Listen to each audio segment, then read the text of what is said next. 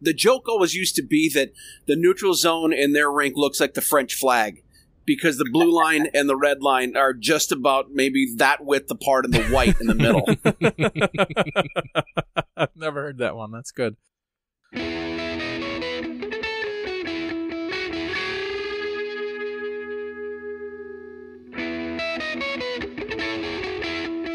Tech Hockey Guide presents the Chasing MacNaughton podcast, covering the Michigan Tech Huskies and the WCHA with your host, Tim Braun, Rob Gilreath, and Dustin Lindstrom. Uh, welcome to episode 14 of the Chasing MacNaughton podcast. This week, the regular crew is joined by sometimes Michigan Tech color commentator Dave Ellis. Thanks for do- joining us, Dave. It's a pleasure to be with you guys. Uh, before we get going, we're only three patrons away from our goal of 20 to start the monthly recruiting podcast. If you'd like to join them and help us hit our goal and support the podcast and Tech Hockey Guide, please check out patreon.com slash tech hockey guide. This week, we're going to discuss Michigan Tech with Dave Ellis, especially the Ferris State series, the state of the WCHA, and MTU's home ice prospects. We'll do some trivia again, and we'll cover your questions. Anything big I'm missing this this week, guys? Nope, think you got it. All right. Let's do the thank you notes plus a brief note from our sponsor, and we'll come back and start with Dave Ellis and Michigan Tech season.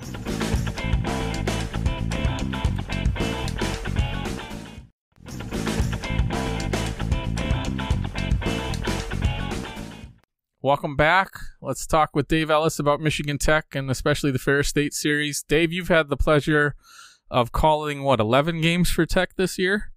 Between radio and TV, I think I'll be up uh, somewhere in the in the low teens by the end of the year. So yeah, 11's about right. I may not have called them all uh, necessarily on radio in that point, but I've been to three or four more games that I got to just sit and watch, which was really instructive because I don't typically get that opportunity. Yeah. So I was really excited to see those. I watched both Clarkson games just in the arena and one of the Alaska. So yeah, that's three that I was able to just sit and watch in the rink by myself. So, what was your impressions of the first four minutes of Friday night? Because we never got to see that on Flow Hockey.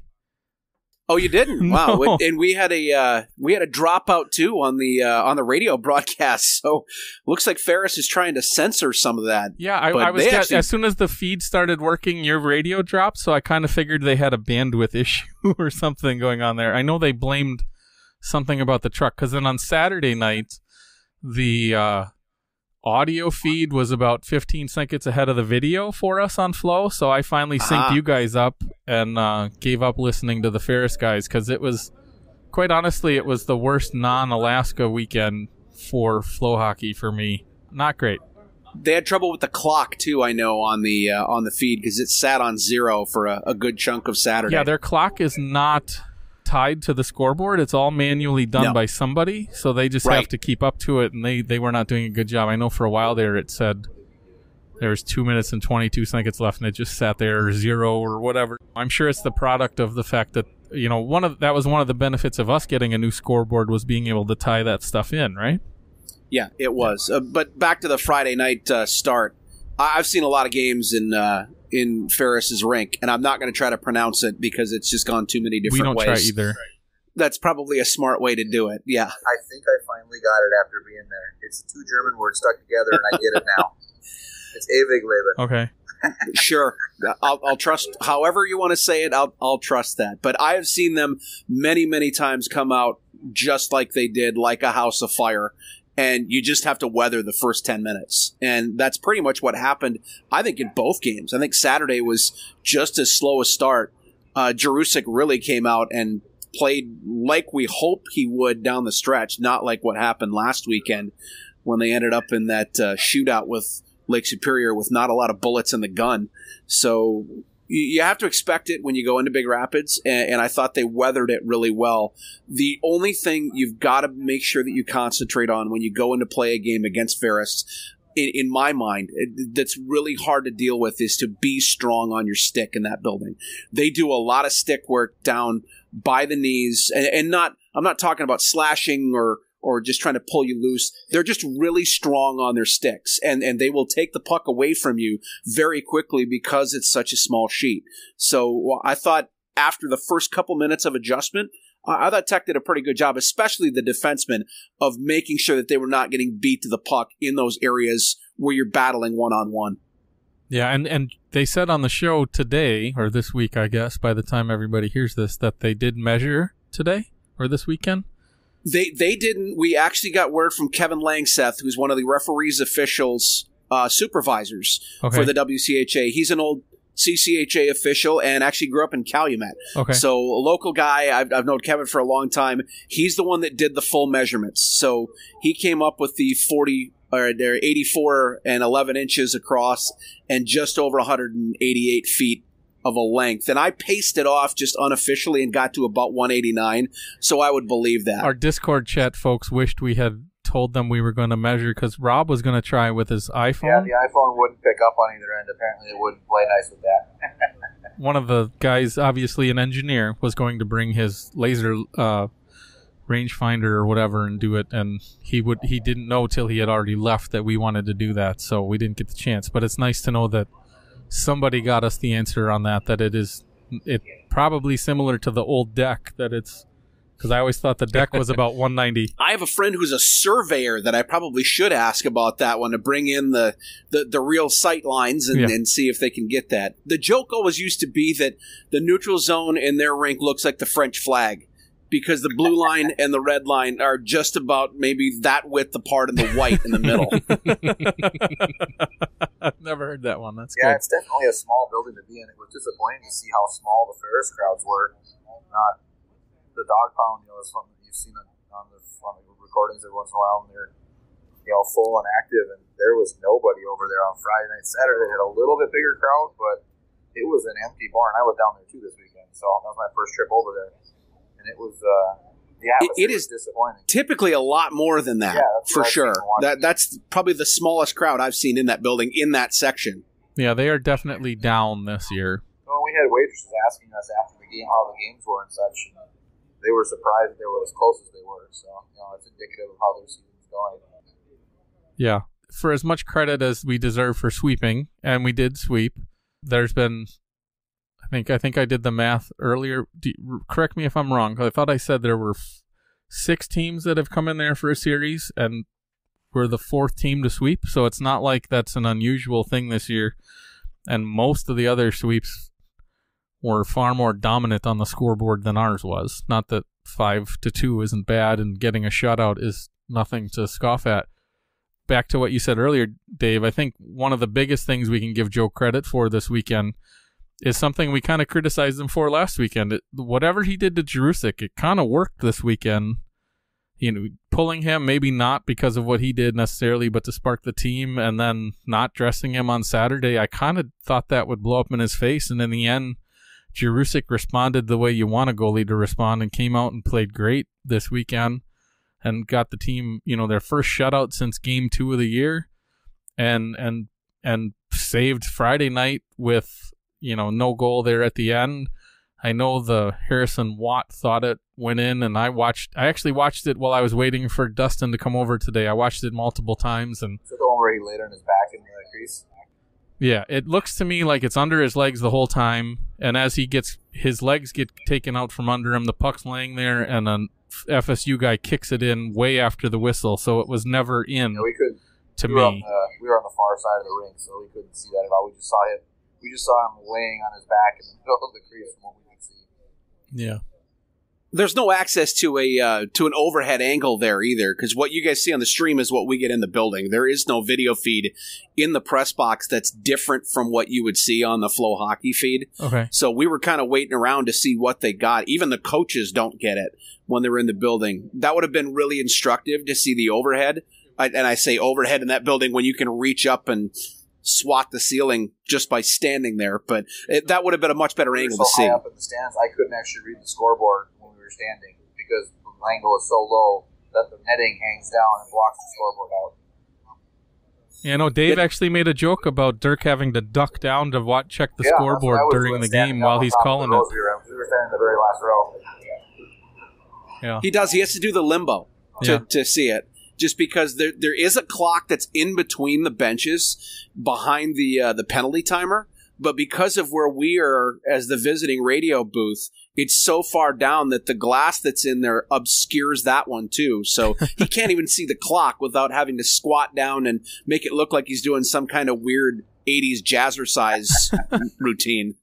It's an interesting barn for sure. I I'm I'm intrigued to hear more from Rob probably off air about it itself, but It was it was unique, that's for sure. Yeah. I highly doubt, you know, we, we talk a lot about, and we can, we'll probably get into this later with the seven teams leaving and who's going to be the eighth team, and, and a lot of questions about whether or not a team like St. Thomas would be let in right away without a new rink or Arizona State for that matter.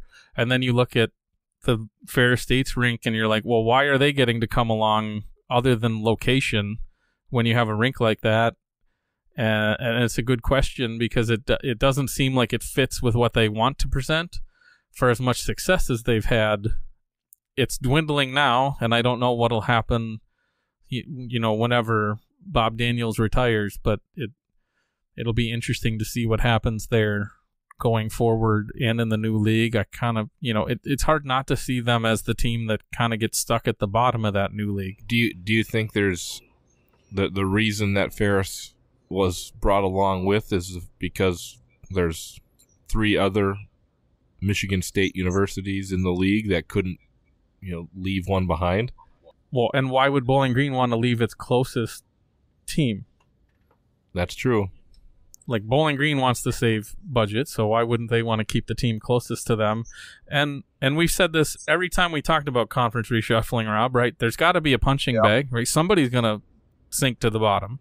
Heck, at this rate, with the way this season's gone, we might be on the bottom of it ourselves again. Rob, be positive. Sorry, sorry. I didn't mean to take hot shots.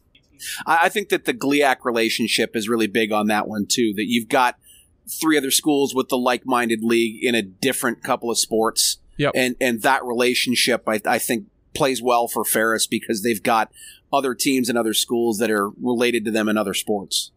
No, it's it's hard to deny that there's a a relationship there between that. Plus, then you add um, Bowling Green's closest opponent in the new league, and and you see a reason why they're included. But it's hard to get past that rink when we're when we spend so much time complaining about what happened in Anchorage and the situation in Huntsville with. Well, granted, that one's plenty big. It's just not many people come, and, and it hasn't been a good program, and they, they keep getting finding ways to you know fall down. Um, but yeah, it's it's hard to see what you know what holds for that league, and I and I don't know what you can really say on air about what you've heard about that. But I I actually have a call with Morris Kurtz, I believe tomorrow, so maybe we'll be splicing in a couple minutes of that if if it goes anywhere. Who knows? How that goes, or how good it'll sound when I probably be in Ashland, Wisconsin when he calls me. So who knows? I, I will say this: that if you're looking for somebody with that kind of a building and, and you want to placate Bowling Green a little bit, I think it's worth asking Adrian if they want to play up as as a D three right now. If they want to move up again, they've looked at D two in a couple of different sports. Their building is just as good. They're a very successful hockey team right now in D three. I went down to a game at Arrington a couple weeks ago when I didn't have anything else to do. Was impressed with it the the arena's good. They get good support. A lot of people in there. I actually watched Andrew Ballant, the former Husky, who's now the leading scorer for the Adrian Bulldogs, Okay. play pretty well. And and I think they would be a pretty good fit and not a whole lot different from what you get from Ferris. Yeah. Well, I think you've got you know you've got St. Thomas. I don't think Arizona State's going to happen because I don't think our league is going to let them in with that rink, and I think if they get another rink, they're not going to join our league. So it's it's that catch twenty two for for where we're at that their aspirations are above us. I think Arizona State at this point has proved that they're they can hang as an independent, make tournament on a regular basis. Why do they need to join a league at this point? Yeah. Unless more develops out west, where you know it's more Pac-10 teams, they've been they've proven they can be successful without a league. They're not like Huntsville, where they're struggling without a league. Well, you want you want to play good teams when you play non-conference, so and Arizona State's been good. And who doesn't want to take a trip to Arizona in winter? It's it's easy to see why teams go there and want to go there. Not to mention the fact that you're playing a name brand, even if it's not a hockey blue blood, but it's a good place to go visit for a weekend. We like going there. I mean, I will say this though that the Big Ten has proved that seven can work.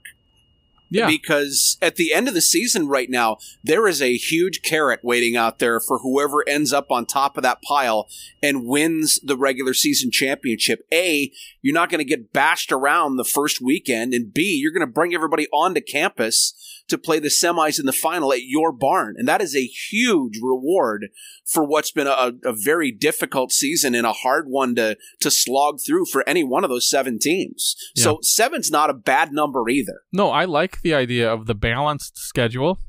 Minnesota's on top over there, aren't they? No, they're second behind Penn State. I I think. I think they're tied now. Are they tied? Yeah. Okay. It, it, it could change by night. I, I think we've seen Friday night before a game and Saturday after a game. It's changed three times, Yeah. and, no, and who's been where in the standings. yeah.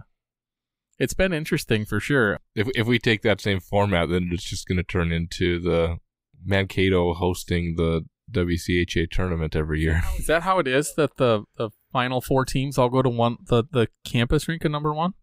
Yes, Okay. the, the uh, it's it's two plays seven, three plays six, four plays five. The three winners advance, and uh, they reseed. And then the semifinals are the lowest seed against the host team, and then two versus three, and then the winners play off for the championship. Okay. Yeah, I don't. I I kind of have a feeling we just stick to what we've been doing and just have a first seed number one team buy, but who knows? It is going to be fun when that's at Mariucci and nobody still shows up to the games. That's what I was trying to say earlier. Yeah. Play it at the Ritter; that'd be better anyway. yeah, definitely. right. No, I think I don't have a problem with seven because I like the balanced schedule. I think it helps too that you have you'll have seven in the Big Ten and and seven in our league most likely, which allows you that you know either you've got Arizona State or you've got a Big Ten team that you can play that last weekend. To so so whoever has that last bye week can still have games and and not just have the potential of having two weeks off before they play again, which I don't think any team would really want that. But I think it's good because you get 24 games, you get what 10 non-conference games without playing Alaska. I think that's a good place to be. I think that's why the NCHC does 24 as well. And it gives you a little bit of flexibility for if a St. Thomas or Adrian, like was mentioned, d- wants to join the league, you have a spot for him. You It- do. It, you're not bending over backwards to you know, go to an 11 team league or something like that, like we've seen in the past. Yeah, I and I don't think they're going to be in any rush to add an eighth team unless something happens. But you know, we've had those discussions multiple times about the odds of Western or Miami doing anything, and and that seems like such a pipe dream with the fees and and the NCHC as a group. Why would they? Like maybe Miami wants to, maybe Western wants to from a from a travel budget standpoint, but from a competition standpoint, I don't know why anybody would want to leave that league and or why the other teams would want change to happen right now with the way things are going for them. No, they're just starting to make money in that league. Yeah. And one that was the, the all important part there too. They've got the TV deal. They're making some money in their playoffs, and by being a middling 500 team in that league, you're in the NCAA tournament. So, what's the advantage of leaving? Especially when if we go down to 24 games, it makes it that much easier for Bowling Green to play Western and Miami and and Ferris to play those teams and and it makes it a lot easier for all of us to kind of play those teams close by and still get a chance to go play Clarkson or go out to Vegas for a tournament or whatever. You get more opportunity without having to take on the the responsibility of going to Alaska and we can st- as long as there's still a team there, we can still do a home and home with Alaska over or Anchorage over 2 years and you get the exemption on the one trip. I'd really like to make a trip to somewhere like Clarkson for a road trip one year. Yeah. I just really wish that they scheduled them in the second half of the season. But Yeah, it's hard. It's sometimes hard to pull that stuff off between Thanksgiving and Christmas. yeah, I, I just uh, my my schedule's always so bad at the start of the season. And you have problems with fall for harvest and everything, yeah. And maybe with the f- the flexibility of that 24 game schedule and the fact that it we're going to have bye weeks, hmm that it's more likely that one of those will happen in January, February Yeah, that would be great. versus right now. and an, and an, another Vegas trip would be a lot of fun. That would be nice. And we know from from talking before that Joe understands the value of a tournament from a pairwise perspective. So I know he's trying to do that stuff. And I know Suzanne likes the exposure of getting close to our our Southwest alumni, whether it's Arizona or Vegas, to allow those fans to get closer to some games. It's not a bad thing at all. we, we had a great time in Las Vegas, and there were a lot of Tech fans there that had a great time. There are a lot of Northern fans there that had that, that we were playing uh, cornhole out on the middle of the patio by the the, the arena with a bunch of Northern fans right before the game. It was a it was a great time, and you know, seventy five degrees and sunny, and uh, I would go back to a Vegas tournament in a heartbeat. It was it was one of the best you know road trip experiences that I've had. Good times. Nothing like getting out there and then you can put some money on the Huskies to win the tournament or somebody else, right? I couldn't find anybody that actually had the had the game. or on the or, board. or the yeah. Well, I, I looked. I like it better when Tech doesn't fall in the field either for the Frozen Four stuff because it twenty to one or whatever it was is not good enough for for that kind of stuff. Um, let's see. So Dave, you you we were talking a little bit before we started about some of the the things you've noticed from Tech because you've gotten to see them throughout the season in person. What are your what's your perception of where the team is right now, and why they've struggled this the second half of the season? Well, I I've been breaking down where all the goals have come from, both for Tech and for their opponents uh, for the year, and the the numbers. I, we kind of mentioned it. It got kicked around. If you heard the question in the Joe Shawhan hour last week about goals on the rush, that was me that sent that one in, and Dirk called me out on it afterward. Of the Joe asked who asked that question, and Dirk says, "Who do you think asked that question?" So here, here's the telling stat for me. In the first half of the season, which I'm calling the first 21 games ending uh, with the Clarkson series, and that to me defined the first half. So GLI starts the second half of the year. Those first 21 games, the Huskies gave up 13 goals, even strength in their own zone. And I define that as once the two defensemen are both set up inside the blue line, that now counts as zone play. That's not a rush anymore. So those goals just kept going in even strength. And it took them a while to figure out what was going on. Now, since then, since that Clarkson series, and actually even before that, dating back to the second game in Alaska, they've only given up four goals inside their own zone in a five on five situation. And three of them have come in the last four games. So they've really done a great job cleaning everything up inside their own zone. Now that has come at an expense though, because the goals off the rush, which we talked about, the first 21 games, only seven goals given up on the rush. Since then, 16 of them. And that's in less than 21 games. So right now, transition is what's killing them. And, and if they can find a way to clean that up, I, I think that puts them in pretty good stead. Uh, offensively, the numbers are pretty constant as you go through, except that the power play has just fallen off the map. They had 14 goals inside the zone on the power play in the first half, only five since then. So and a lot of that feels like it's Keegan Ford who was kind of a big part of that early on. Yes. And now he and he was gone and now he's trying to get back into a rhythm. And he did score over the weekend, and I was really curious to see. Joe kind of tipped us off that he was going to tinker with that second unit and having 3D out there and putting Datama right on top of the hash marks was something that Ferris had obviously no idea was coming because they didn't know how to deal with him in the middle of the ice. He had at least four good chances to score the whole weekend and didn't.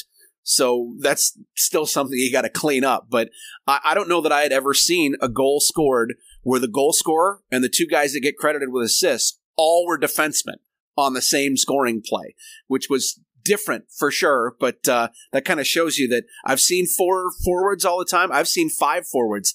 I hadn't seen 3D on a power play before, but it actually worked pretty well. Yeah. It seemed really weird to see him. It's like he was way high up. We, we talked about this. We actually we, we saw him sitting up there in the high because he was high in the slot. He wasn't he wasn't in the goalie's face at all. He was kind of centralized there, right between the dots, almost providing like a first layer screen, if you will. It's not something I've seen on a power play before, where someone is posted up almost that high, where he was. Well, Ferris does a lot of puck pressure on the points. And because of where Datamo was and the the ability to get him the puck quickly, they couldn't go out and pressure really hard on either of the point men on that power play. It kind of backed them off a little bit because they didn't know what to do with them. That gave Swoyer and Ford a little bit more room, moved to move the puck around a little bit, and it actually created some gaps down low too. So they couldn't be anywhere near as aggressive as they were with the other unit because that didn't exist out there. So you don't ever want to run an umbrella power play against Ferris. They will eat it alive with how active their forwards are and the two guys up top of the box that are killing it.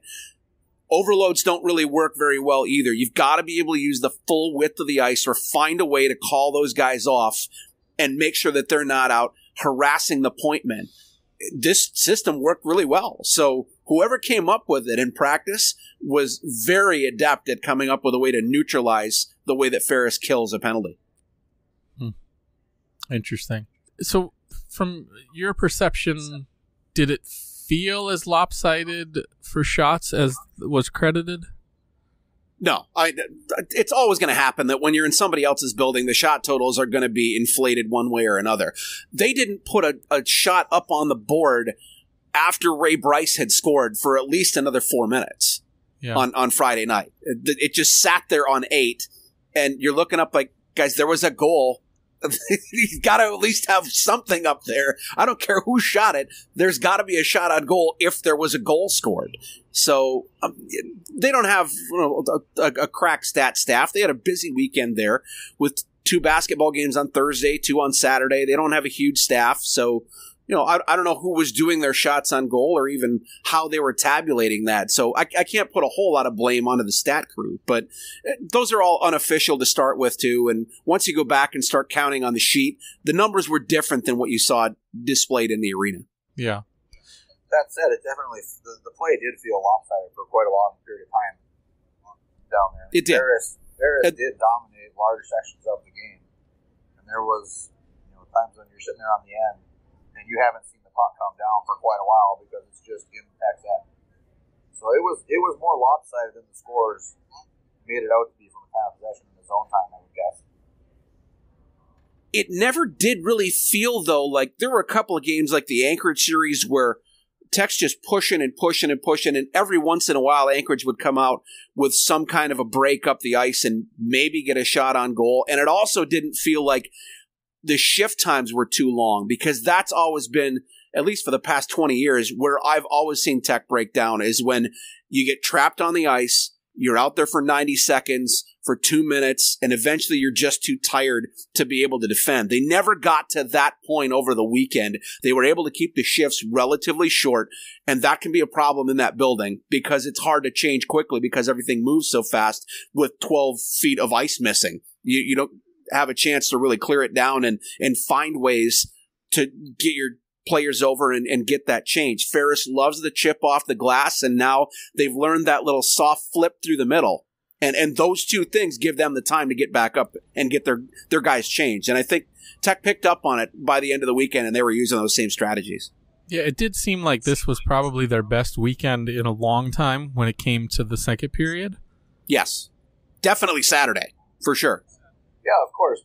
That was the end we were farthest away from. So if, if the second periods they spent more time down far away from us, it felt like more than uh, more than they ever felt in front of us. You know, for the two periods we were behind the Ferris goalie for two periods where they sit, where they put all the opposing fans. Well, that's when they're closest to us in the radio booth, though, so I, I can't complain too much about that. But no, on the scoreboard, they didn't really they didn't get dominated like they have this year. Like the second period, it's felt like there's just and I don't like throughout the year it's felt like there's something off with how they try and change that when they get the long the long change they've really struggled this year. And maybe that's just the whole matter of what you said where they they spend their entire shift fighting, then they get it chipped out and change, and then they go do it again. And it reminds me of the old Russell era where that happened a lot. That's pretty much the hockey, tech hockey I grew up watching. Well, let's get dominated, get really tired. Oh, North Dakota scored again. But it was good to see. I mean, even on Saturday, they outshot them. Uh, what was it, fourteen to six in the second period? Kind of almost got the shots back to even. Yeah. And then didn't score, but they they didn't give up a goal either. No, Ferris was good about taking away a lot of the good scoring opportunities. And I think we mentioned on the broadcast that maybe the way to break this is you're going to have to activate a D in the rush. And that's how they got the goal from Colin Swoyer. Yeah, Swoyer was not where he was supposed to be. It was going to take somebody to get into a lane that wasn't accounted for. Yeah, which is okay because it was on the rush, so they they knew to cover for him. Rob, it's okay. Right. Right. Yep. When the D man's the one bringing the puck in the zone and passing it and continuing his drive to the net, I think they know what to do. So I think it was okay, Yep. and it was- worked he was out. Way down deep there. Yeah. Well, it wasn't just it wasn't just the starting drive of it either. He, I think he, he had the initial zone entry, right? He did. Yep. Did he have the did he pass it off or did he have a shot? I think he passed it off. He passed it he- off and then continued to drive and kind of screened the goalie as the shot got the came in, and then got the got the deflection and took the shot and put it in. It was a good uh it was a good weekend. And I go back to you know, a lot of the people in the Discord chat were kind of disappointed not to see Beydoun after what you know, after getting the win in yeah, Carnival and then what Jurusik had done the night before. But Jurusik's Joe's guy this year, I didn't fault him for going back to it, and it obviously worked. It's a good thing. It's a good sign to see. You know, I don't think he made as many saves as was well, you know, as credited. Maybe that's right, and maybe we didn't get it credit for enough saves. I don't know, but it's nice to see him step up and get a shutout. We haven't seen that since Robert Morris, and and put us at least in the possibility of home ice. I don't see it happening. I have to tell you, I am a big Robbie Beydoun fan. When, when I played goalie, I was the kind of scrambler like Robbie is, and that's not a scrambler goalie building. You've got to be able to stay compact, and you've got to be able to stay composed. And uh, Robbie's just a different kind of goaltender. He goes out and attacks the puck. You can't do that in that building because it just moves too fast around you. So Okay. in, in some place with bigger square corners, like Colorado College or at Mariucci, he's the perfect goalie for those. Not in that building. I, I think tactically that Jurusik's style of play was the better choice, and I think that was borne out by the way that he played calm and compact the whole weekend.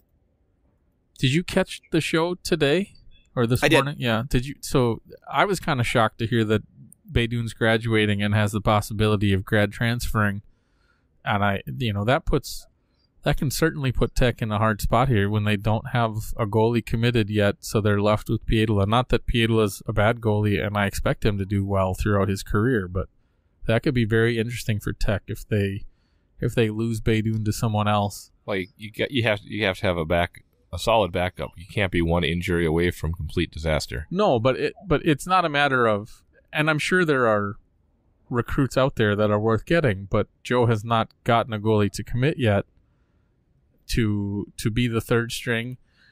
And maybe some of that is trying to figure out if whoever he's trying to get is going to be a number 2 or a number 3 type guy. I mean, you, you never know if he does grad transfer.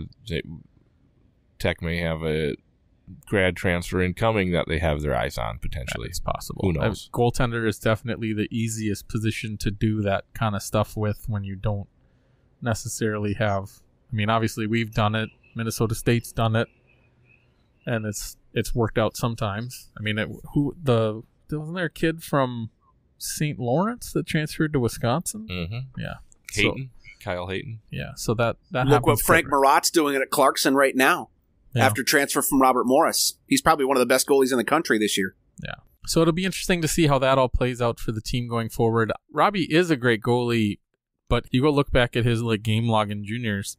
And he'll have back to back shutouts, and then he'll give up a five or six just because of the way he plays. That he can steal a game, but he can also really stink it up one night and just give up some goals that Jurusik probably wouldn't. Home ice. So playoff status gives Michigan Tech a 14% chance at home ice right now, with Northern at 80, which isn't that surprising, and then Alaska at well, Northern at 85, Alaska at 56, and Bowling Green at about 44.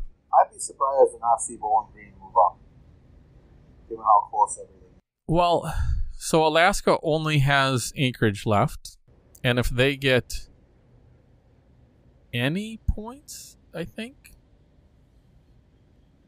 Uh, No, they have to get four to be able to clinch to clinch over who us or Oh. like, over Both? Michigan Tech. yeah, but they they could still be So they, Alaska's got a bye week, right? They're, they're off this weekend as well, I believe, right? Yes. And you've got UAA, Right. who's had an absolute stinker of a season, but can still keep playing. So they're they're playing, and it's Governor's Cup. So I'm not writing off UAA this weekend either, right? I mean, that's their big rivalry. And it's and it's up for grabs because they didn't they did they split the first one I don't remember. yeah they they split the first one so it's totally up for grabs Is it in Fairbanks or is it in Anchorage? I think it's in Fairbanks. it's in fairbanks they split in anchorage Yeah, because remember, um, Fairbanks couldn't get in the locker Yeah, room right. Because of the swimming meet. So yeah and they've got oh it actually has ferris has better odds of getting eighth but not controlling their own de- well probably because they have eight or four games left unlike or no anchorage has four too. Yeah so i don't really know. Tech is more than likely sixth. I guess dave we talked about this a little bit before we started. You have a feeling that maybe if we if we do anything it's leapfrogging north? If Northern doesn't take more than three points against Lake Superior, I think that I think the Huskies catch them because I I just have this feeling right now with the way that Northern's playing that that's got sweep written all over it the last weekend. And right now, Northern with a win next weekend gets to 47, which is what the high end of what Tech can do is. But a sweep then gives Michigan Tech the tiebreaker.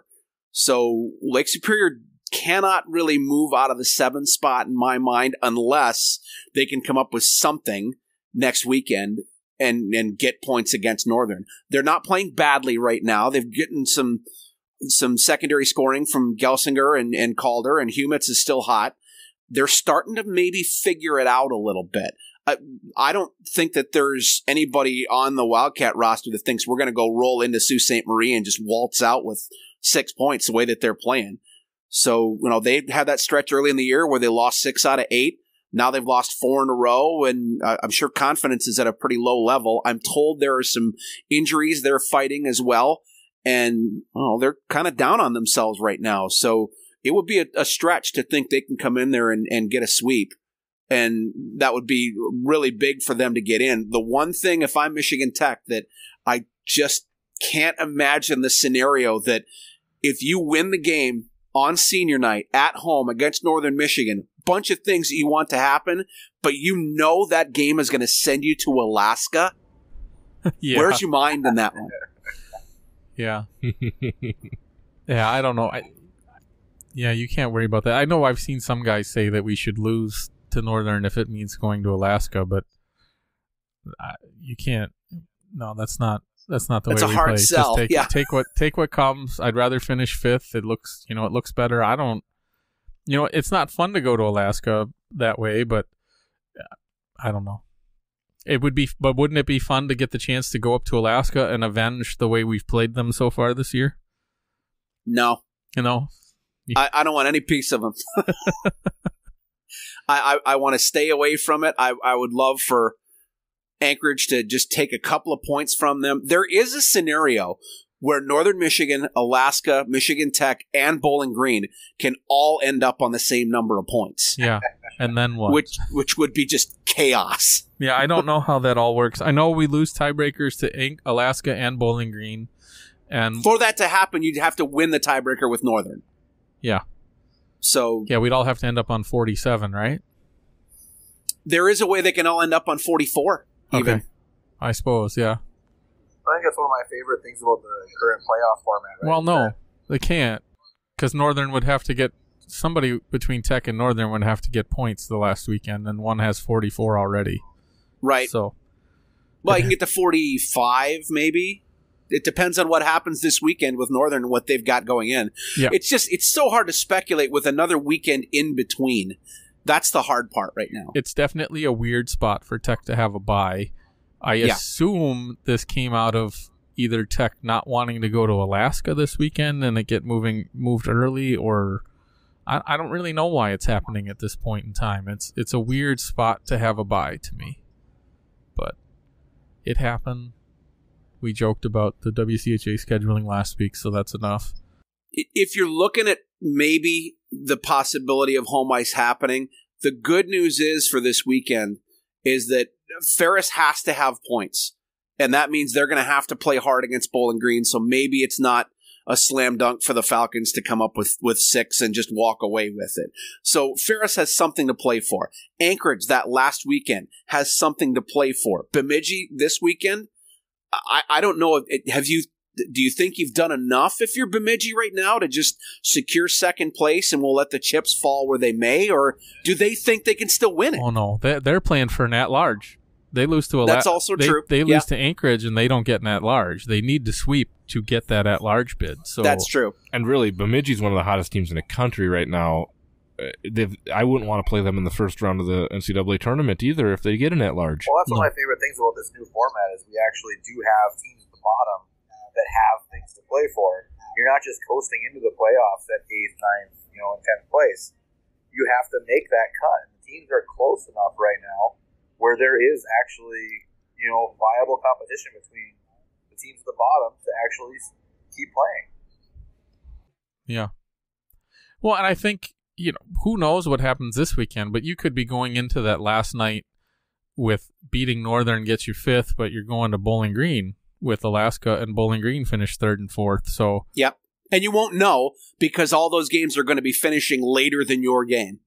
yeah, or at least around the same time. You'll at least have a clue, I guess. It'll be interesting No. to see how the. you won't because that, that game with Huntsville and Bowling Green is two hours later.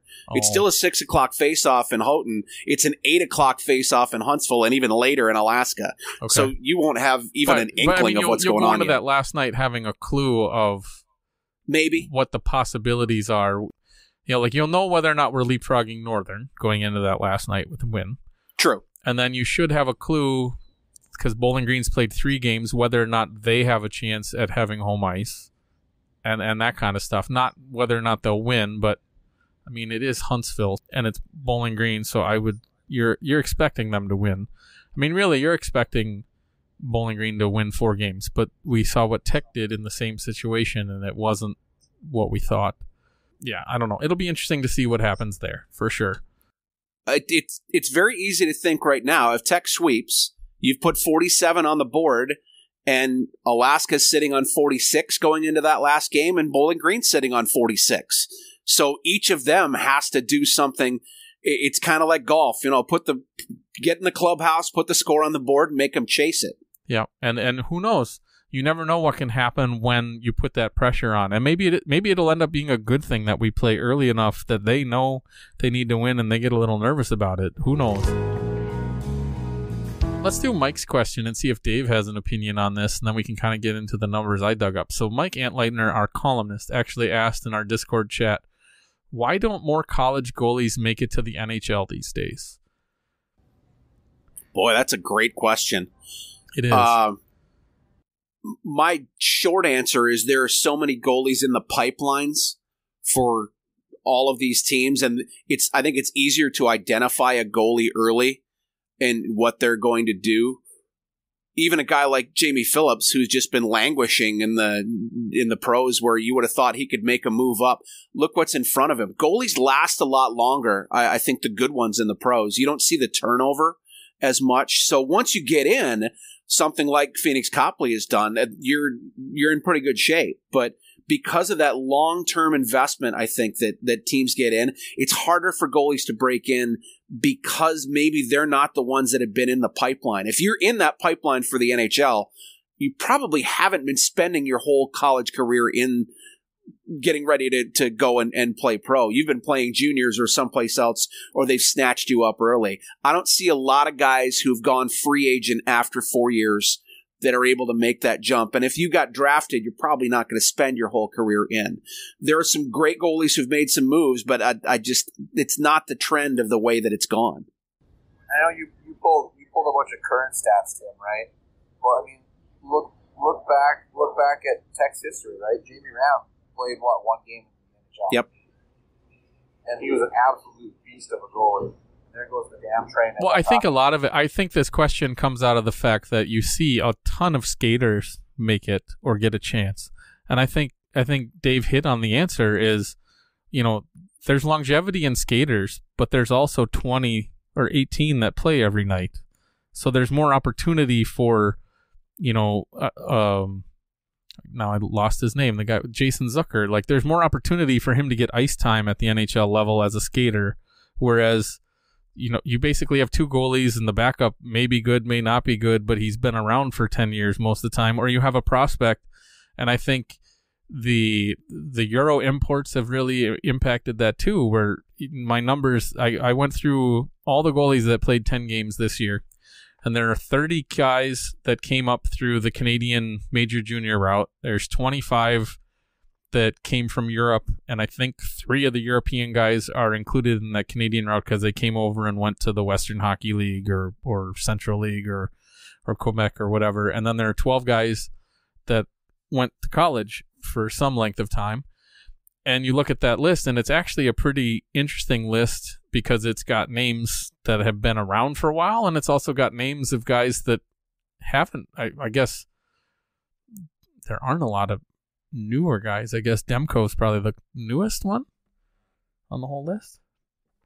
Because we got Ben Bishop, Cam Talbot, Connor Hellebuyck, uh, Curtis McElhinney, Aaron Dell, Alex Stalock, Thatcher Demko, Ryan Miller, Brian Elliott, Jonathan Quick, Carter Hutton, and Jimmy Howard.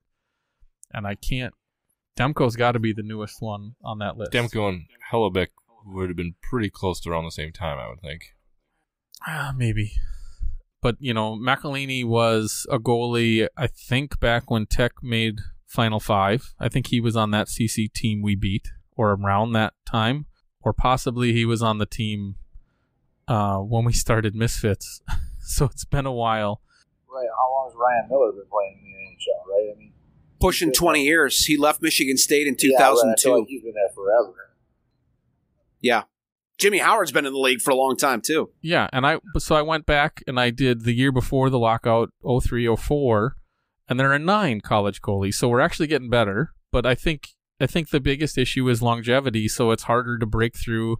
But once you get that chance, you know, you've got the chance to have that longevity. So back in 0304 there are nine and it was Dwayne Dwayne Roloson, Eddie Belfour, Marty Turco, John Grahame, Ty Conklin, Rick DiPietro, Cujo, Garth Snow, Mike Dunham, and our old goalie coach Steve Shields.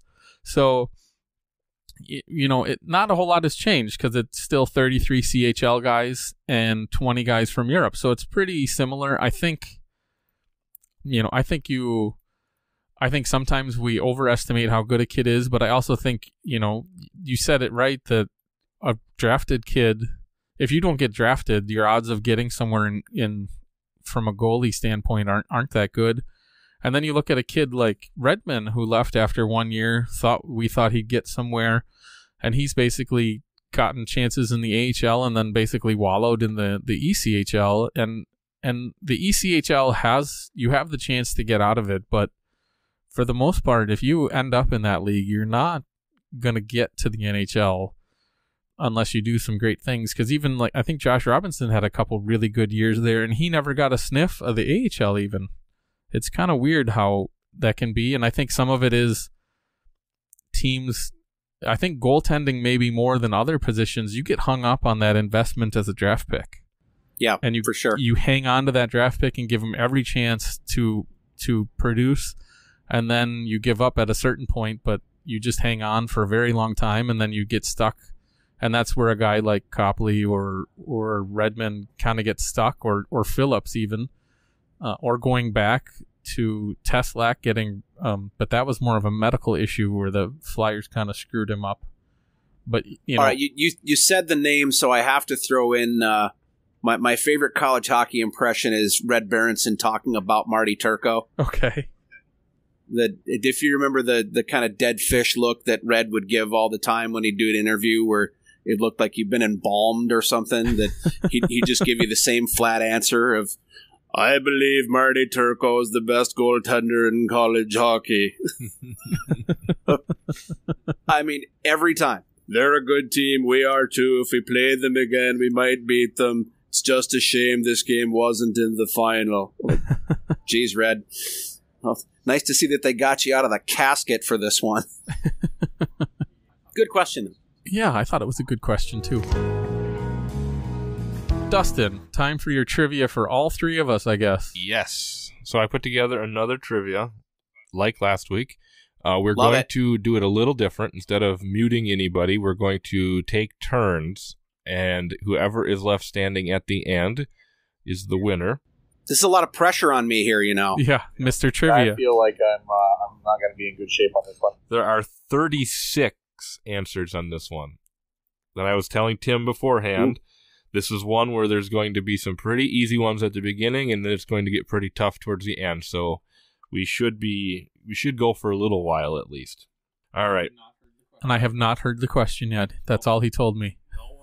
No one has heard the question, and uh, so this is kind of throwing back to uh, we last week we talked about the decade team. So this is another the last decade question, and uh, the question starts in uh, January first, two thousand ten, and it goes through December thirty first, two thousand nineteen. So it's that decade, and in that ten year stretch, I want you to name the venues in which Michigan Tech has played a hockey game.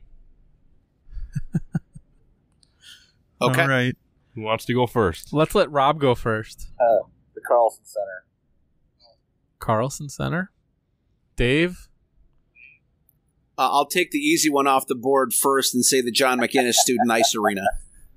I will go with wherever Ferris State plays to get that one out of the way. I go with. Come on, I, I, pronunciations Yeah, you- are an important part You of got this. to You got to at least try to pronounce the the name of the arena, not just the school. So I'll Okay. count that since you said Yeah, because it there, there are some where we've played more places, right? Yeah. Okay.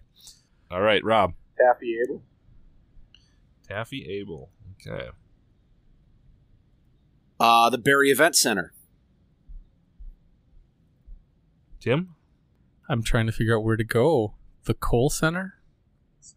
Ooh, breaking Yep. out the auto conference. Yep. Well, no, it was in conference way back when too. It's So auto conference too, so yeah, it's supposed to be both. yeah. trying to think if that happened in this decade. Rob. The Ralph. All right, I'll, I'll go with the former WCHA angle and say Magness Arena. Yep. This is an interesting question. I like this actually. Good work. World Arena. CC. Colorado, Colorado Springs World Arena. Arena, Arena, yeah. Sullivan. All right, uh, Amsoil. Yeah. You had what 36 for this? There are We- We 36. need the name of the rink, not just the school, right? Name of the rink. Little Caesars. Little Caesars. Yep. Well, I'm gonna stay on that angle and go with the Joe. Joe Louis. Then I'll stay with it too and say Comerica Park. There's your That GLIs. is- That's a good one. Oh crap. See, I, like, uh, I know where we played, but I have no idea what the heck the rink is called. That's there. my problem Um, with some of these out of conferences. Like I know universities I want to say, but I can't think of the name right now. And that's gonna really bother me. Von Braun. Yep. Yep. The Madhouse on Mercer, Bowling Green's Arena. That's not the name of the rink, though. Oh shoot! I think we can give it to him. Yeah. We know what he's talking about. and Yep. It's not the school. Well, th- there would be two acceptable answers that you could have either said they played when it was still the BGSU Ice Arena or now the Slater Family Ice Arena. We'll give it to you. Uh, I got to go with the one right down the street from me right now at Munn Ice Arena. Yep. Oh, so that means I should go with the name of a football coach, but I can't think of. Let's see. We're uh, Mariucci, Yep.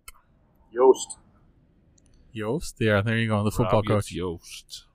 T-Mobile Arena in Las Vegas. Yep. Is that where it was? That was where Yep. it was. Okay. Yep. That's is that where the Knights play? Mhm. Okay. So that other tournament was not there though, right? Where Gila- North Dakota was and Gila River. No, that was that wasn't a tournament. Oh, the, the North, North Dakota, Dakota and game was not Gophers played just a series. okay. oh shoot! I went out of order. Go Tim. You didn't hear me anyways.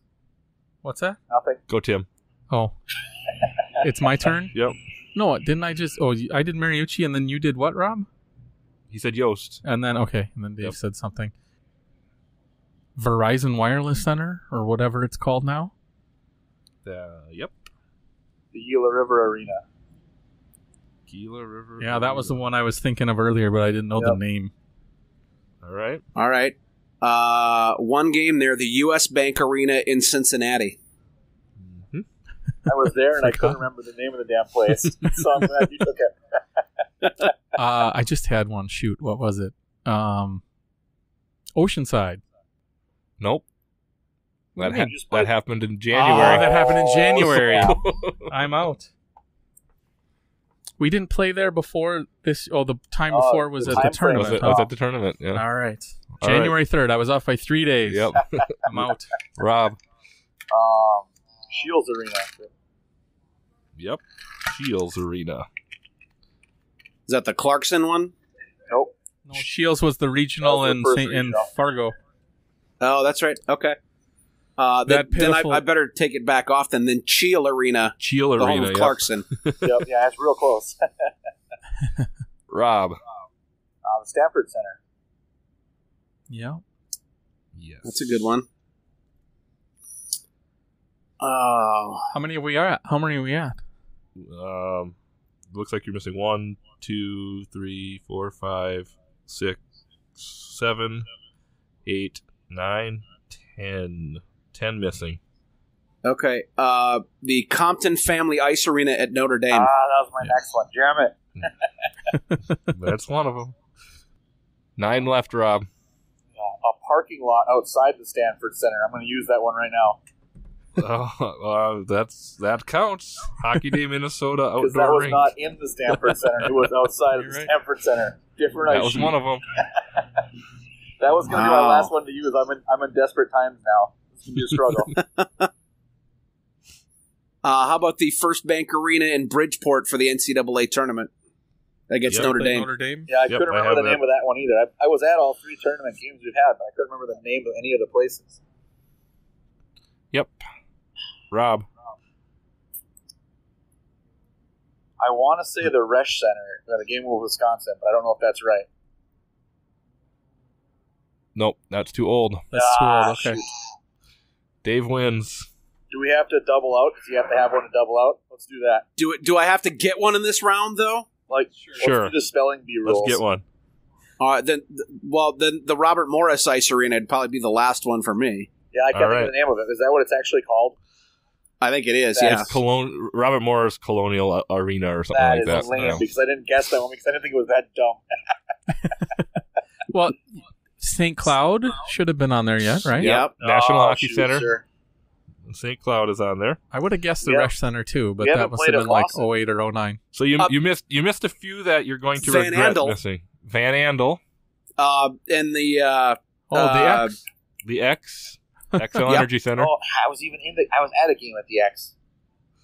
So yep, Xcel Energy Center, Van Andel, National Hockey Center in St. Cloud, the deck in Duluth. Really? Deck. There's Yeah, actually You got game at Amsoil deck and not the deck. Century Link Center in Omaha. for Okay. Nebraska Yeah, Omaha. UNO, sure. We did play there one time, probably, huh? or two games total. and Appleton Arena at St. Lawrence. Yep. I had that one waiting. That that was my ace in the hole. Uh, see, like I, I had to use my parking lot way too soon. You guys did felt. pretty good though. You got a you got a few of the tough ones. I thought the I, I thought the Hockey Day Minnesota one would throw people off. Except at least three of us went. I don't know if Dave made it to that. So I didn't. No, Yeah. I wanted to. I had it booked and just ended up uh, canceling at the last minute. And considering that Dirk had to share the radio broadcast with the bid, the Midgie 'Cause guys, technology there was, was no room for me anyway. yeah, That is that, that's one of my favorite hockey road trips by far. That was a unique and nifty experience. it's a great place to go, and that was a lot of fun. Um, even watching the fire from the window of our hotel, that was kind of cool too. That was a big fire. yeah. Uh, yeah, that was kind of fun. Yeah, Nice that, one, That was Dustin. definitely a good Liked one. it. Now I got to think of a new one for next week. Yeah. Don't go back another decade. That would I'm just be glad tough. I managed I would do Tim on a tribute. Yeah, there you go. All because I was off by three days, That's pretty funny. That that was the reason. and I probably wouldn't have gone there if you had gone if you hadn't gone Gila River or whatever. Uh, let's see. So Dave can probably stick around for these. Maybe maybe he has a better answer for this than what I have. On our Discord chat, we got a couple questions uh, this week. Bose wanted to know how does Bowling Green own the rights to the CCHA name? From what I understand, uh, because they were one of the charter members of the league, when the league broke up, uh, somebody had to, if they wanted to keep them, somebody from the CCHA had to retain the marks. They were one of the last teams left that that hadn't gone, and somebody wanted to take possession of the trophies, and they were just the ones that agreed to it. The other question we got, I forget who actually asked this, or maybe I didn't want to try and pronounce their screen name, but why do we have why do bye weeks exist? So I actually went and you know, I went too far on this one because I wanted to actually find because I've always been told that the season has to start so many days before the Frozen Four. So I actually dug up the bylaws. And rule 17.13.2 and 3 dictates that practice and the first contest cannot occur until the Saturday of the 25th full weekend prior to the start of the the Division 1 Men Ice Hockey Championship. So that's 25 weeks before regional weekend. And that's how we end up with our season starting on a Saturday because that's how it's written. So we all, you know, typically teams t- seem to play on that Saturday to give themselves as much time basically every team wants to have buys to to get breaks to take rest usually try and do it around finals and then the christmas holiday and then you also want one or two weeks off in between. It's why maybe you don't see us have that many bye weeks as tech because we end up with 36 to 39 possible games some years because of the the fact that the icebreaker so we have 34 possible games in the normal season, and then the icebreaker and or the icebreaker tournament and the Hall of Fame game, and any game played in Alaska or Hawaii against a team from Alaska or Hawaii, Hawaii by a team that's not from Alaska or Hawaii, respectively, doesn't count. So anytime we go to Anchorage, anytime we go to Fairbanks, they don't count. When we played in the icebreaker in Duluth, it didn't count. When we played in the Hall of Fame game this year, and was it last year or two years ago? against Wisconsin, it didn't count. So, you know, the the WCHA teams, except for Alaska and Fairbanks, always have at least 36 games because they're all going to at least Anchorage or Fairbanks. And sometimes they do both and they end up with 38, but a lot of times the teams now are not using them all because of because we've condensed the schedule time we have because we extended our conference tournament extra week when we get, went away from the campus site that it's really hard to get all those games in, find teams to play on the weeks we don't have games, and make that all line up because it's not exactly easy to tell the NCHC that Duluth needs this weekend off for us or whatever. Like it's it's complicated to get all the weekends to line up and everything else, and then to get teams that want to play us at home and on the road, not just one or the other. I mean, that's why we're getting Notre Dame for one game next year Um, basically, we have bye weeks because there's 25 weeks to play all of our games, and then you've got Christmas, the conference tournaments, three weeks of that, and you try and fit it all in. You still got 17 to 18, well, 17 minimum unless you play weekday games, and nobody really likes those. So, anything you want to add to that, Dave or Rob? I think or- you covered it. Yeah. All right. I think we're pretty much good. So I, I think we did a pretty good job of staying positive this week, don't you, Dustin? Oh yeah. Well, that should do it for this episode of the Chasing MacNaughton podcla- podcast. Please check out our Patreon and join by visiting patreon.com slash techhockeyguide. Patrons that are black level or above receive an authentic MTU jersey patch and access to extra podcast content, including the unpublished episode zero and extended versions of every other podcast. Follow us on Twitter at ChasingMacPod or at Tech Hockey Guide. You can submit questions through our email address, chasingmac at techhockeyguide.com, or send a voice message directly at anchor.fm slash chasingmacpod. Don't forget to subscribe to the podcast on Apple, Google, Spotify, or wherever you get your podcasts. If you can't find the podcast on your site of choice, please let us know and we'll make it happen. The more you rate, review, and share, the more people we can reach, so tell your friends. Uh, one more thing on the Patreon. If you sign up for Patreon at the black level or above, there is a special RSS feed link so you can still listen to our extended version of podcasts on your favorite podcast app, except for a couple. But there's a link on there about which ones work and which ones don't. So it's not like you have to listen on Patreon if you don't want to. Uh, please check out Jonathan Zamaites' series previews every Friday, Mike Anleitner's Old Dog in Texas column every Wednesday. You can find all this and more at techhockeyguide.com. Thanks to Dave Ellis for joining us this week. It was great to have you. Guys, thanks a lot. I really appreciated it, and uh, hope we can do it again sometime. As always, special thanks to Mitch Lake for rec- uh, recording our introduction and our patron saint Doc McResin for his generous donation to get this thing running. We hope you enjoy. Also, thanks to the thank you notes for all the bumpers in this week's episode. If you like what you hear, check them out at thethankyounotes.bandcamp.com.